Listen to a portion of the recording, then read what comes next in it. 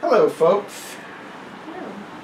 Okay, we're gonna do the uh, Jameson Do the cast makes cast first? cast mix, then we'll do the Black Barrel. Um, Are we gonna do these in one video or separate? I don't think so. This is a stout edition. Now this is interesting because it's finished in craft beer barrels, as they say. What does that mean? They take barrels that were used to age craft beer and they age the Oh, whiskey in it. that makes sense. Um, product of Ireland. Okay. And I got these in a set. There was like a special set at the store that had the regular Jameson, the cask mates, and then the black barrel in these like smaller bottles. Now, oh, and this comes in a paper Mhm. box. Yeah, it was in like a wooden pallet and it had the three boxes. Now I finished the regular Jameson a while ago, but Matured in a combination of oak casks, including black barrels, which are flame charred, charred under the watchful eye of our master cooper. Blah blah blah. Okay, now sherry casks. hmm. I haven't had sherry in a while. Okay, and then they're giving you all the things: butterscotch, nectarines, apricots, peppery. You know, we we did some of these and we didn't pick up all that stuff, but we're not sommelier. No. We're just people on the street. Um, you know, now now everything is cross lining. Like beer aged in sherry, sherry aged in beer, port aged in sherry, sherry aged in gin, gin aged in rum, rum aged in whiskey. You know what I mean? Ugh. I wouldn't. You know what I'm saying? It's-. But yeah. Because you run out of ideas, so then you have a flooded market, and you're trying to differentiate yourself, so you have to. So Jameson cask mates, but they're all they're all 80 proof, so they're all the same ABV. So how do you think the smell of this compares to the original Jameson we just tried? Well, first I want to look at the, Oh, the right. appearance. It's darker, you know, not way darker, but it's more golden than yellow. Yeah. You know, I the. Jameson is more yellow. Mhm. This is more golden. Yeah. This is your glass because I see all this lipstick like residue on there, I'm not wearing lipstick. And plus my glass was chipped two spots. Okay. Okay. It's fine. Not that I'm a chipped glass fan, but you deal with what you have. These are very old. Yeah, it's like, uh, what were you asking me before? Oh, just how you think the smell compares to the original Oh, okay. Jameson. Well, it's a richer aroma. It ought to be, costs more. Uh, it's more sugary, candy-like, like red apple, candy, candy red apple, like if you went to a fair, a county fair, or Well, if they're talking about Louisiana Parish sherry Fair. barrels, I mean that Sherry, and I don't have a lot of experience sense. with sherry uh, in port. Um, I, I've I, I, cooked with it. I drank a lot of Taylor sherry, and people said that's run of the mill stuff. So then I went and bought this really good sher uh, port wine from Spain, and it tastes like beet juice. And I was like, wow, I paid twice as much, That's gross. and it tastes like beet juice. Port Okay. and sherry are great to cook with. Like if you want to make a reduction with cranberries or something to serve over duck, real good. Yeah, well, next time I think I'll get Taylor sherry from New York. Not, I mean Taylor port, not real port, port style wine. You know, real port comes from Port, Port, uh, Porto, Portugal. But if I drink something that costs twenty dollars a bottle and it tastes like beet juice, I got a problem with it. I mean, it was really good the first time we had it. We loved it. The week, a week later, it aged and had been open, mm. and like oxygen got in it. And I was like, oh Well, lord, that's not the sherry's fault. it was port. I'm sorry. The port. sherry. That's not the port's fault. But it's like, if you open it and it, it deteriorates that fast, that's not a good sign. All right, back to this. Mm-hmm. But it was pretty gross, and it made me feel sick for like 24 hours, like nausea. Sounds like nauseous. it might have spoiled. And my friend was like, David was like, "Well, I'll cook with it. I'll cook with it." I said, "How could this stuff turn so bad?" Plus, the body was so heavy. It was thick. It was like viscous. I was like, "This has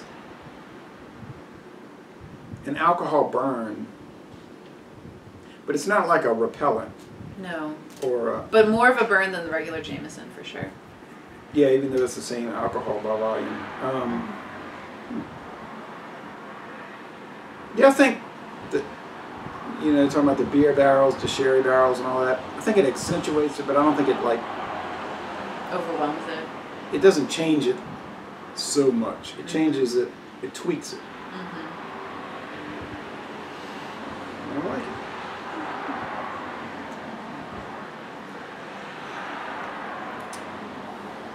Still has that papery note, paper, and I'm, I'm not against that. I, I I think that's just a standard thing.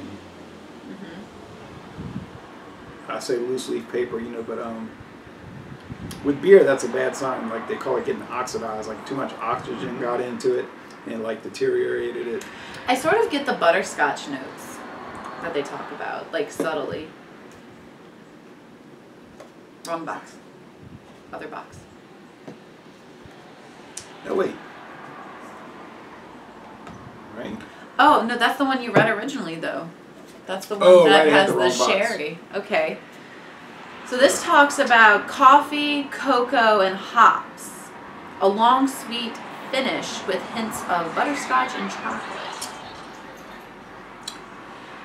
Yeah. Um, chocolate. I'm getting the butterscotch. I, sorry, I think. Maybe butterscotch.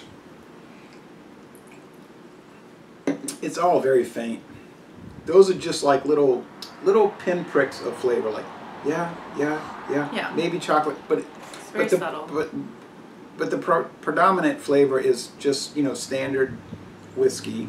hmm Um, It is stronger than the original. Well, the alcohol levels aren't stronger, but I feel the flavor is stronger. Yeah, it's There's a more little of more a pronounced. Yeah, it's a little. Mhm.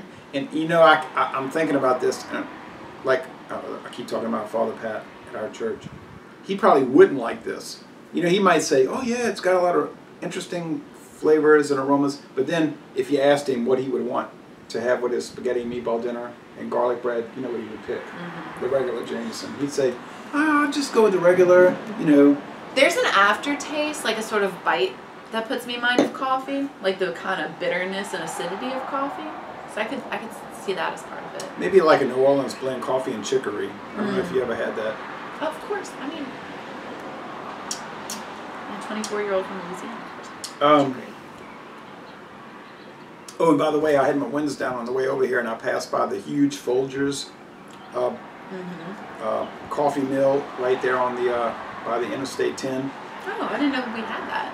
It's the biggest coffee mill in the world, Wow, I had no and there's three of them in New Orleans. There's a bread factory down the road that always Yeah, Bunny. smells like bread. Well, but if you go to New Orleans, right there. It's not bunny, it's flowers bread. Oh, oh Bread, yeah, okay. yeah. You're talking about over here. Yeah. But if you go to New Orleans, right there on I-10, Interstate 10, right. Oh, that Folgers. I thought you were talking about somewhere outside Tuscaloosa. I was like, no, what? no, it's huge. How did I miss it? Miss Brit- it, yeah. Remember, Brittany worked there. It's Mhm. huge, and She uh, still works for it's the biggest uh, coffee mill in the world. Then down the road, if you take Old Gentilly Highway, the old 90, they have their craft, sort of like their craft specialty coffee distill uh, mill, coffee mill, which is huge. And then I think there's a third one. So it's incredible. Um, I remember us you driving out there to go coffee. You get get to smell coffee. Vietnamese food, and there was like all these mattresses and like random trash on the side of the road. Do you remember that? I. Yeah, because Old Gentilly Highway is so remote that Yeah. when people go to put, they go to throw away and be litter bugs, they throw trash along the road. But I love driving into New Orleans and smelling the Fol- the Folgers um, plant. Yeah, and so it brings us back to this. It this kind of has that evokes that kind of um, coffee aroma. hmm But again, all the all the flavors and smells are real are really subtle. Like none of them are trying to knock you out.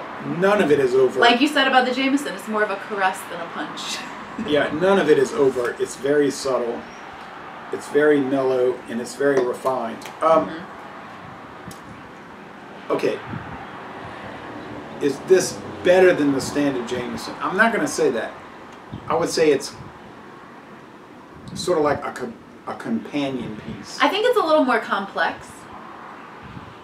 It's got a little more grape, like white wine character with it, which is Mhm. strange. But it's like Jameson, Caskmates. It's riding alongside side of it, but it's not something to like. Oh, I gotta have Caskmates. It's so No. much better. If It's so better. Jameson is Please Please Me, then this is Sergeant Pepper's. You know, yeah, more like like it's just there's more going on. But it's the same band. More like with the Beatles or Beatles for sale, but I get you. Okay, um, Maybe the regular Jameson is Revolver, this is the White Album. no, I think regular Jameson is like with the Beatles, and this is more like uh, Beatles for sale, possibly. Um, what is that one they made the movie? Um, I was about to say eight, eight days a week. No, the original movie um, from '64. You know that one. Well, obviously now every time you try a new whiskey, you have to say which Beatles album it is. Right. So the original. I- I'm going to expect that from here on out. I don't know about y'all. The original Jameson is Meet the Beatles, and this is Beatles for Sale, or uh, yeah, yeah. Okay. All right, thanks for watching this video production. Words are flowing out loud.